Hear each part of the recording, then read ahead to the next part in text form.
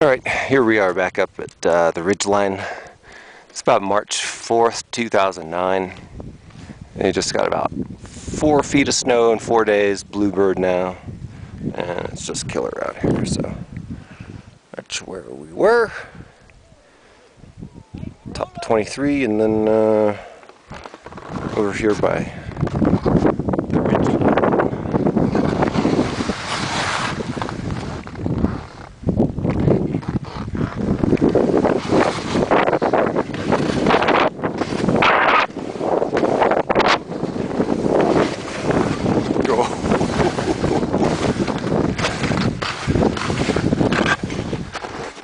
go. What's this color?